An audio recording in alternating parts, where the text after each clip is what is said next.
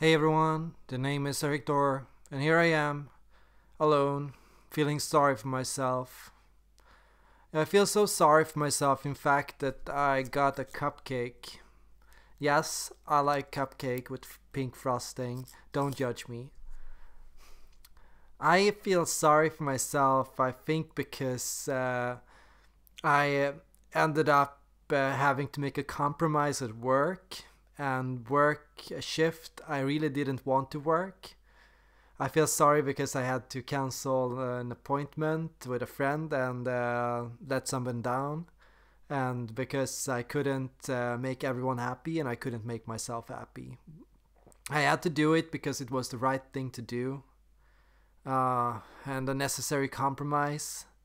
Still, it doesn't feel good, and uh, so here I am wearing a sweater uh, sweatpants, waiting for my shift to start in a few hours.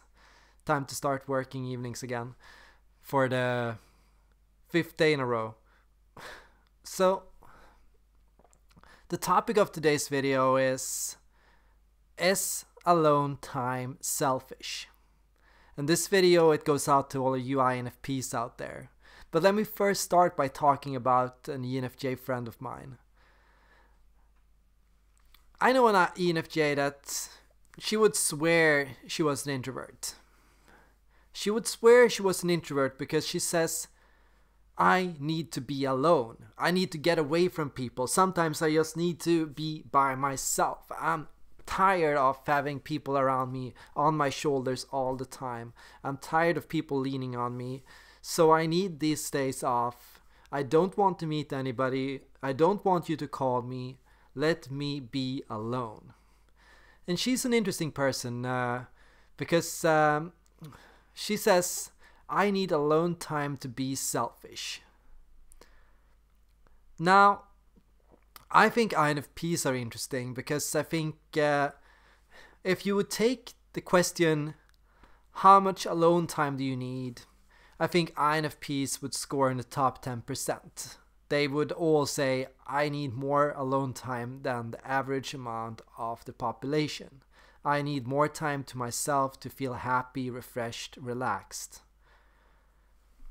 INFPs are some of the most prone to talk about the need to be alone, the need for quiet, the need for peace, the need for to be in nature, to be by yourself to go out by yourself, to go to a movie by yourself, to go out for dinner by yourself, to do something for yourself by yourself with nobody around you to tell you what to do, nobody to compromise with, nobody to discuss with.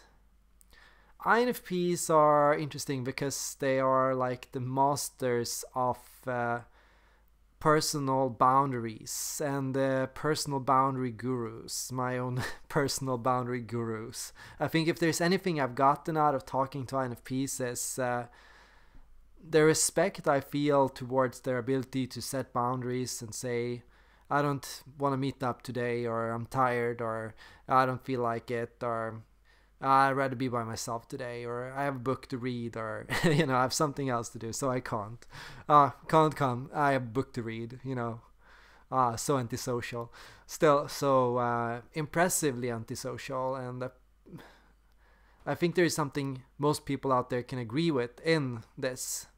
Uh, even an ENFJ, you know, the Oprah Winfrey of the 16 personality types can agree that I need alone time to feel sane. and that's, uh, I think, uh, interesting because to an ENFJ it's uh, equated with the only time in a day where an ENFJ can think about themselves. When you're alone is that's the only time when you can completely ignore and pretend nobody else is around you and nobody else needs you. So it's the only time when you have time to catch up with yourself and to do things for yourself. I think uh, ENFJs go on a spectrum on this. I think the more self aware an ENFJ becomes, the better they become at setting boundaries. While early in age, they might struggle to be alone and might feel uh, it's hard to set boundaries for yourself, or hard to ask for alone time, or hard to be by yourself. I think the older they get, the more aware they will become of this need in themselves. And this comes from basically uh, having hit against the wall a bunch of times. How do extroverted judging types learn? Well, they force themselves forward because they love to force themselves on things, and then they crash into the wall and then they learn boundaries. That's how EJs learn boundaries. You know, if uh, IPs are people that kind of uh, dash around the beach, you know, not sure if there's that in and not really committing to anything and kind of keeping their options open and kind of like feeling things out and like oh I'm, i can help a little bit and i'm pinching in a little bit effort there and a little bit of effort there and then uh, the rest of the time like pulling back EJs are the people that jump straight in and they go, What can I do for you? How much can I do it? I'm gonna be the best helper ever. I'm gonna do so much for you. I'm gonna be there for you. I'm gonna answer every call. Call me 2 a.m. in the morning. Do whatever. I'll be there. Of course, I'll be there. So they are on the opposite ends of a spectrum. EJs are extremely passionate and extremely forward and extremely aggressively caring and interpersonal.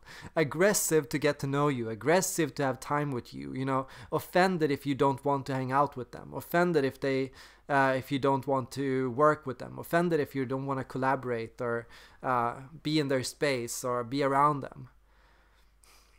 IPs are on the spectrum of uh, afraid to get to know people, unsure whether they want to befriend somebody, unsure if they want to start a relationship with somebody, unsure if they want to uh, be around other people, unsure if they can trust others, unsure if they can open up to others, unsure if they can be themselves around other people, careful not to say anything wrong, careful not to do anything bad. I think uh, INFPs even go so far in this they master the ability to be alone around other people. To be around other people yet still be alone. Still be completely turned off to your environment, oblivious to the people around you. But the impressive thing about INFPs is because they can be selfish they can also be incredibly generous.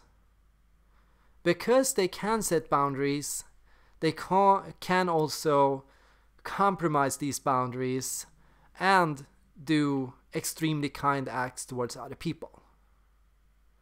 And this is uh, almost a contradiction in itself, but it's obvious that we all need alone time to function and to be healthy as human beings. If we are stressed or anxious or neurotic or compulsive in our ability or need to help other people or to be around other people, we also become overbearing, anxious, hard to function around, hard to talk to, hard to be around because we are so overbearing and so anxious and so open with our affective emotional energy. We put out negative vibes everywhere we go. Our while our effort says I'm trying to help you, the intention behind it says I'm desperate for approval.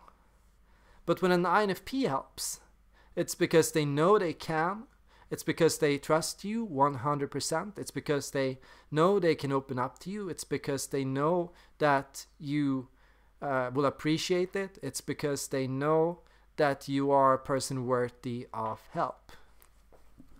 INFPs can be incredibly generous and vulnerably generous and supportive and helpful and kind and social and open to connect with you and to put themselves out there if you have their trust. And that's why INFPs they're described in two different ways. They're described by ESTJs as cold and unemotional and unengaged and disengaged and passive.